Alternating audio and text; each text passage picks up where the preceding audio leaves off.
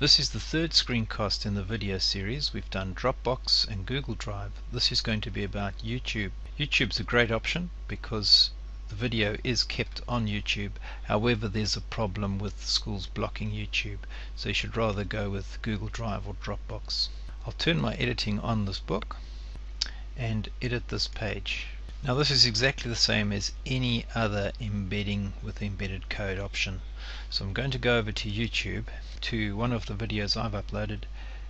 Click on share click on embed and then go copy. So you're copying this code here. And in your resource page click on HTML and paste. And that's it. Save changes and there you have your video. You've also got the full screen option here so you don't have to worry about resizing